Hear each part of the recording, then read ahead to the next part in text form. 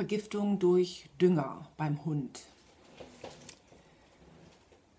Dünger ist nicht giftig, aber wieso kann er trotzdem das Leben Ihres Hundes bedrohen? Bleiben Sie dran, dazu gleich mehr.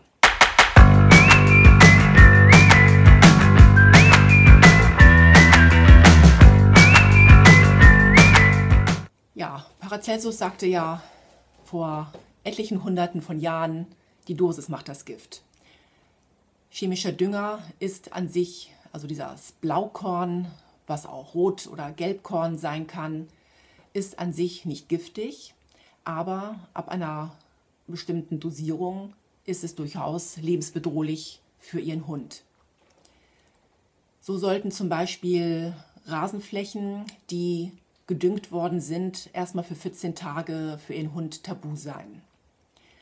Achso, und Blaukorn, das wird auch alternativ als NPK-Dünger bezeichnet. N für Stickstoff, P für Phosphor, K für Kalium. Es ist aber eben chemischer Dünger, der ab einer bestimmten Dosierung giftig ist, giftig wirkt. Gefahr ist auch bei, bei Flächen, wo sich dieser Dünger ansammeln kann. Zum Beispiel bei landwirtschaftlich genutzten Flächen. Wenn also der, der Bauer dann zum Beispiel mit seinem Traktor wendet, da kann durchaus einfach mehr Dünger zusammenkommen. Und wenn dieser Dünger dann in, in Pfützen läuft. Und Sie sollten auch darauf achten, dass, also in den Bereichen natürlich Ihr Hund dann nicht aus möglichen Pfützen trinkt, aber auch in den Bereichen kein Gras frisst.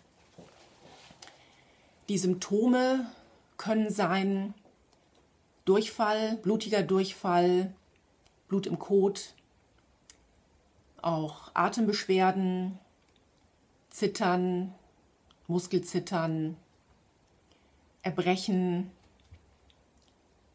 einfach Schwäche, Schmerzen, Unruhe, letztendlich auch bis hin zur Bewusstlosigkeit und der mögliche Tod droht, wenn eben keine Gegenmaßnahmen ergriffen werden. Gegenmaßnahmen sind auch hier, wie auch bei anderen Vergiftungen, wie bei Rattengift oder auch Schneckenkorn, die erstmal die Gabe von Kohletabletten und dann sich sofort auf den Weg zum Tierarzt oder in die Tierklinik zu machen. Und die Kohletabletten sollten wirklich unmittelbar nach der Vergiftung verabreicht werden, in Wasser auflösen und dem Hund über eine Spritze verabreichen. Das Gefährliche oder noch besonders Gefährliche ist, das sind ja oft eben bunte Kügelchen, oftmals blau. Blaue Kügelchen, das kann sich dann auch um Schneckenkorn handeln und sie können auch Rattengift sein. Die Gegenmaßnahmen sind aber in jedem Fall identisch, also immer mit den Kohle Tabletten und dann eben sich sofort auf den Weg zum Tierarzt oder in die Tierklinik zu machen. Günstig ist es natürlich sehr hilfreich, wenn Sie eine Probe mitbringen können. Oder wenn es vielleicht auch, äh, wenn Ihr Hund irgendwo in die Garage allein gelangt ist und da sind vielleicht ähm, Vorräte von Blaukorn, dass Sie dann eben auch äh, etwas von der Packung mitnehmen. Also wenn es wirklich breitflächig gestreut ist und der Hund läuft drüber, ähm, wie gesagt, die Dosis macht das Gift. Da ist jetzt nicht unmittelbare Lebensgefahr. Kommt natürlich immer auf die Größe des Hundes an. Bei einem Chihuahua oder bei einem Welpen ist natürlich eine ganz andere Gefahr als jetzt bei einem äh, Rottweiler oder bei einem Bernardiner.